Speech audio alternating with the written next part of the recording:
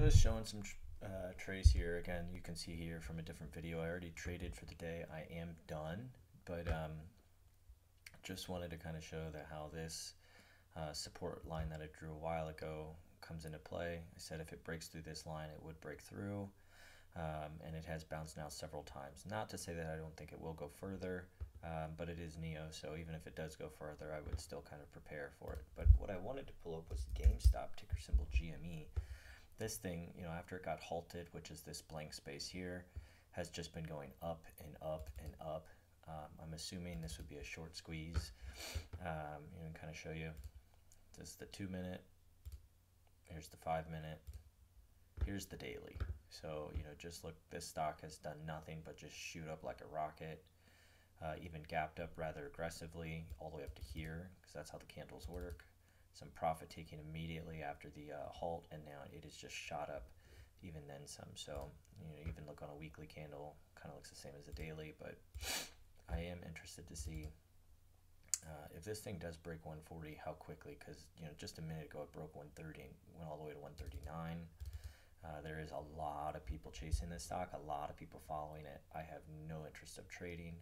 Uh, just thought it'd be something that'd be kind of interesting to get on tape. Uh, let's see if it can, uh, you know, make a push to the upside again. Right now, the high is 140. I believe that's all-time high, uh, or at least in its its recent effect. I don't think it's been that high for several years. It's consolidating, consolidating profit takers. Again, if this thing can break, nothing to shy here. Still not making any new lows even on a five minute chart, it is not making new lows whatsoever. So I've got a five minute on somewhere else, but I'll show you that's what it looks like. So again, nothing to get worried about here. Um, you know, if I had the stomach for it, I actually would place a trade, but I just, I don't really care. But let's see. Over here, watching level twos, watching these guys, looking to see if 140 can get up on the bid and on the ask, and then hopefully just see it crush through it easy consolidation, easy, easy. Uh, now, if it does break below 135, there's less interest in it uh, from alongside, and it no longer looks like it's going to be that way. Uh, 139. I think you're going to get a lot of profit takers, although you can't short it.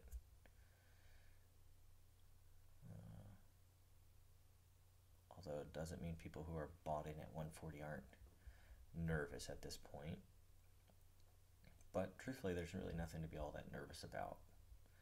I would have preferred to wait until it got under 130, see if there was a chance of it showing strength, but the day may be now. 139.50, 70, lot of sellers, lot of sellers to be expected. Let's see if this thing can break. I'll give it about one more minute to see if it can push. If not, I'll just kind of move on about my day. Like I said, I'm not trading this at all. Don't really care. My fingers are very far from the keyboard. But I'd like to see this thing push. We're through a dollar, the half dollar. Going for 142. Lots of sellers. 141.70 on the bid. Um, I'd be nervous at this point. I'd be taking profit. If I was in at 140, I'd at least take half position off the size just because this thing is not shoving upward as much as I thought. Yeah, there. So you take a little bit off, let the rest ride. I put a stop at 140, you know, for a break even at this point, and you'd be out right there. So not that exciting. I was really hoping to see another one of these massive candles to the upside. Now again, it could go, but you know, when you get a, a massive break breakout from a pull pattern like that, pull flag, bull flag. Yeah, you definitely want to see this thing, you know, break out or, or take out. So you want to either take your money and run or, or let it ride. Now, again, if you got in, you would be profitable, but really nothing to, you know, write home about. Nothing like these were earlier. Again, still profitable, especially if you put in, you know, a couple thousand shares. Um, here we go. Can it get over 145? 145 is going to be a very large area of support, just like 150. Um, massive numbers where they're just going to kind of likely get frozen in time but interesting.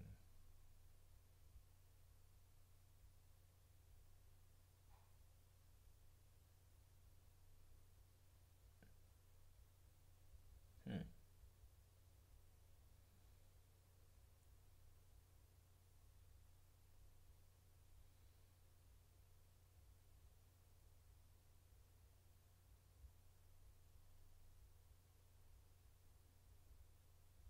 Yeah. Okay. There we go. Broke through 145. Lots of sellers. Can it break 150?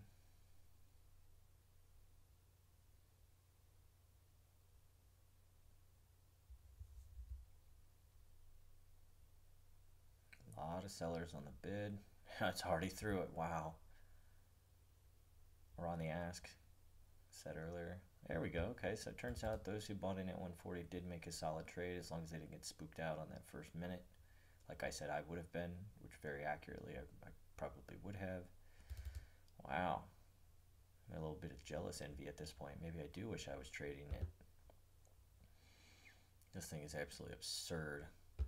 It's up 129% today, up $84. I mean, this is just absurd.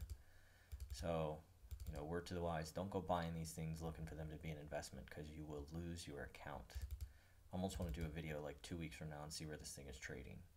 So, currently at the time of this recording, this is the 25th of January. Um, I'm very interested to come back in two weeks from now and see where this thing is at. I would not be surprised if it was under 80, 90 bucks, or if not even lower than that. So um, we shall see. But again, it is not shortable, which means we have, a, in all likelihood, a short squeeze continues to come. So um, until next time, oh, broke through even 150 really quick. Interesting. Wow. It seems like everybody who took that trade was very justified in doing so at this point. And it just keeps grinding. Interesting. Oh, that's going to do it for me. Oh, wow. This was about two seconds after I closed the last recording. This thing got up to 160, 159.18. Massive selling. Oh, man, that has to hurt. Uh, this thing got halted. That's why there's nothing you see here. There's a halt to the downside. Uh, circuit breakers are letting this guy go. Wow someone's going to be bleeding when this is over. A halt like that, I can almost assume this thing's going to gap down. Um, you know, initially I did not want to want to you know stick around and watch this, but now I do think I want to kind of watch. I'm actually going to just keep this thing recorded for the next five minutes. Um, it's either going to be a five or a ten minute halt. Uh, with that being said, uh, typically the longer the halt, the worse it is. Uh, so you know, let's just and it is back. And look at that. This thing gapped down uh, 121 immediately punched up punched down. So again if you were in that at 160 and now you just got down to 120 that that hurts. That really hurts uh, if this thing goes another downward motion that thing is going to get halted again which would actually even be more interesting um, Let's let's give this a minute and play out and see if we can get another halt to the downside.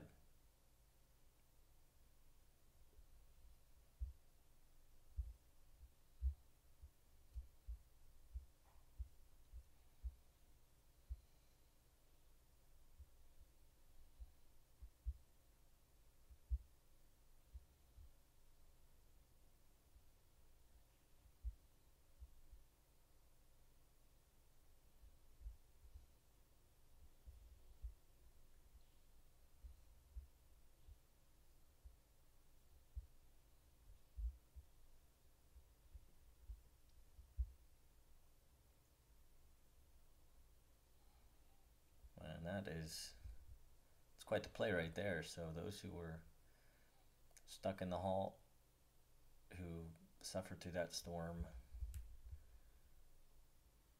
somewhat, you know, kind of reinforced, and the crazy beast who bought down at 120.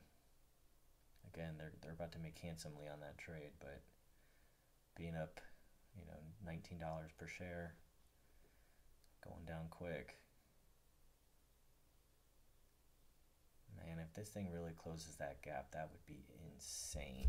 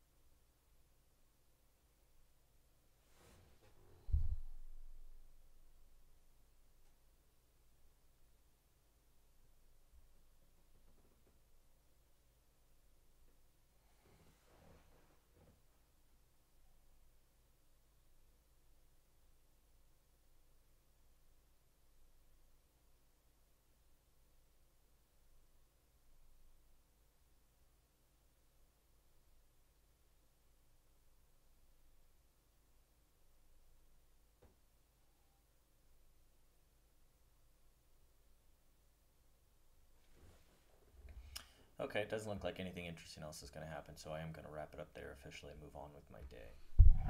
Okay, so just bringing in uh, GameStop back in the mix. Uh, I said at the end of this uh, video that I thought that, you know, give it a two weeks and that this thing is going to be down to, you know, about half of what it is now, 160 would be down to 80. So this is all in the same day. This played out about 10 minutes after the fact. Um, but so let's just slowly open that up. So there you go, massive drop again. And then um, the stock did get halted once more. The, uh, the SPY itself is running down. And there it is. It got dropped down to 103. And here we are where the stock got down to $88. So almost exactly at that $80 mark I said. Now this is one, two, three, four halts in. Um, I think it is bouncing up a little bit from now. Um, you know, just to kind of show you speed through what the, the futures hold. So another halt, another halt.